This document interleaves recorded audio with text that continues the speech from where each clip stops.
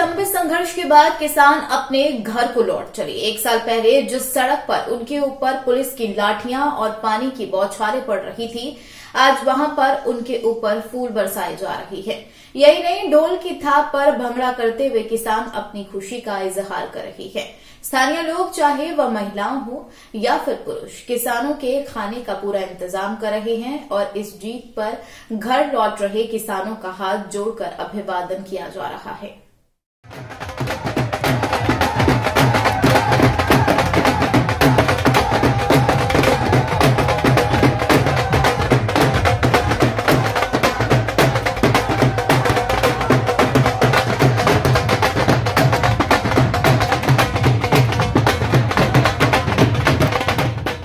कृषि कानून की वापसी और अन्य मांगों पर सहमति बनने के बाद आखिर आज 11 दिसंबर को किसान दिल्ली की बॉर्डर से अपने घरों की ओर लौट चले। पिछले एक साल में उन्होंने दिल्ली के बॉर्डर पर अलग सा शहर बसा लिया था, लेकिन आज उस शहर को ट्रैक्टर ट्रॉलियों में लाद कर घर की ओर वापसी शुरू हो गई। सड़कों पर ट्रैक्टरों और गाड़ियों की लंबी लंबी लाइनें हैं और किसान जीत की खुशी में नारेबाजी करते हुए अपने घर की ओर बढ़ रही हैं। यही नहीं, ढोल की थाप पर भांगड़ा कर खुशी का इजहार किया जा रहा है। स्थानीय लोग किसानों की सुख सुविधा के लिए हर संभव मदद पिछले एक साल से करते आ रहे हैं। आज भी वापस लौटने वाले किसानों को कोई दिक्कत ना हो, इसलिए बड़े बड़े लंगर का इंतज़ाम किया गया। जहाँ महिलाएँ उनके लिए खाना बनाने में जुटी हुई हैं। यही नहीं, सड़क के किनारे पर खड़े होकर लोग हाथ जोड़कर इन किसानों का अभिवादन कर रहे हैं और फूल बरसा करके इनका स्वागत किया जा रहा है। ये, जो लंगर अपना मदीना का एन एच नाइन पे है और जिस टाइम पे ये किसान आंदोलन स्टार्ट हुआ था, उस टाइम पे लगा रखा है आंदोलन। अब हमारे किसान वीर योद्धा जीत को वापस आए हैं। उनके ऊपर फूल माला हलवा, उनका जैसे हमारा स्वागत हो, स्वागत करने लग रहे हैं। और भाई, जो हमारी मांग थी, वो सरकार ने मानी है और एक तना से सरकार झुकी है। इस खुशी में हमारा जश्न मना रहे हैं। अपने आने वाले पंजाब, हरियाणा राजस्थान जो भाई आए हैं, उनका तय दिल से स्वागत कर लगे खुशी है जैसे बेटे की शादी हो, उससे भी ज़्यादा खुशी है। एक मन में थोड़ा विराग भी है। एक साल से इकट्ठे बैठे थे हरियाणा वाले भाइयों के साथ। आज उनसे बिछड़ना पड़ रहा है।